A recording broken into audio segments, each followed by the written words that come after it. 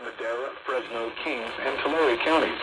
Equipment that can warn you of a life-threatening emergency is being tested. If this had been an actual emergency, such as severe weather, a 911 system failure, or other life-threatening condition, an official message would have followed the alert tone. This concludes this test of the emergency alert system.